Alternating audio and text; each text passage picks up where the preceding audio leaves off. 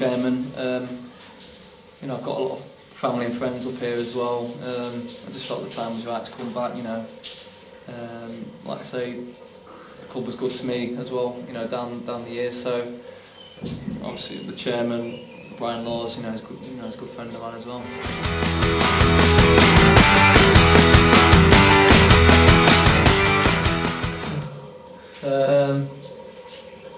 Matthew Swan.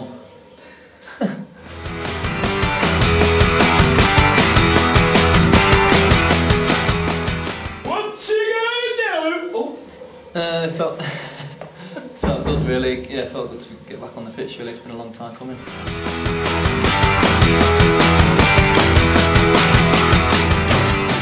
Oh, Christmas Day, in Newcastle. Yeah, quite a lot of lads peaked too early, but you know, all the experienced ones we kicked on.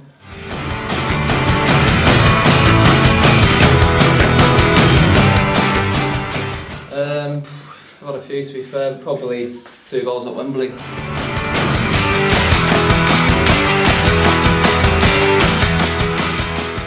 It was that Wall Street one in cinema.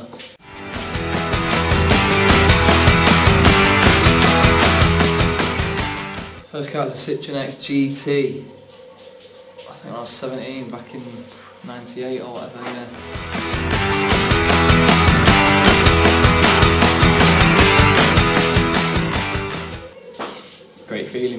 First game of season, um, you know, obviously we've won as well, it was a great start and to get the goal, you know, couldn't have asked for much, much more to be honest.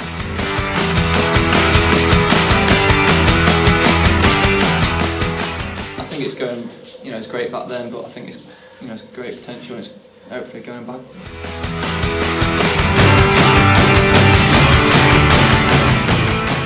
Yeah, you know, I loved it down there. It's a massive club, really. Obviously, we, we were champions on the first season I was there in League One. Um, know, made some great friends down there.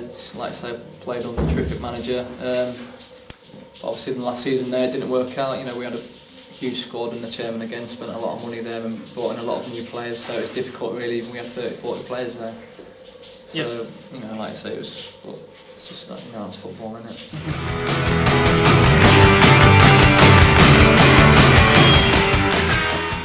Yeah, I'd say it was to be honest. You know, um, to come back here, I thought we, we actually played well that day, but I suppose everyone was happy really. I, you know, I scored, but Scunthorpe won, so you know.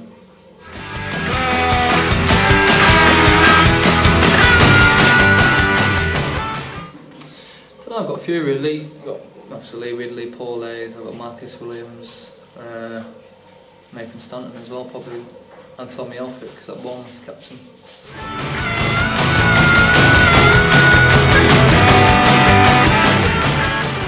I doing the rest is chilling out really to be honest. Um, don't know, walk the dogs, you know. Just about it really, can't, can't too much.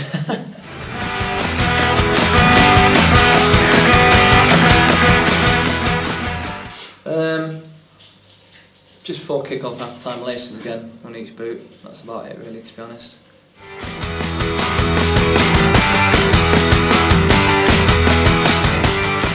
Think that was the only choice we had to be honest. Was that or something, you know, stupid. But Legend I mean, they passed it, flying colours. It was easy. You know, let's get down and do that. Was so still get a bit of stick for passing that to be honest. But you know, So it's got nothing. You don't want to go into that in, nah.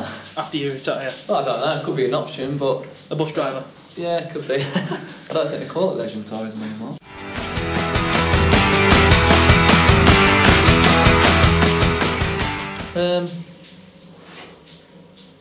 didn't really. Obviously, you know, I, um, it, it was nice to see, you know, signing them players again. Obviously, you know, I played with both of them, and you know, to be fair, I got, you know, they got they're great lads, and you know, obviously, Doss has, you know, done well as a player, and he's a coach now, and Muzzy's, you know, delighted to come back as well. So, and they live local, so it, it does help. And I'm not saying they influenced it though, by by any means.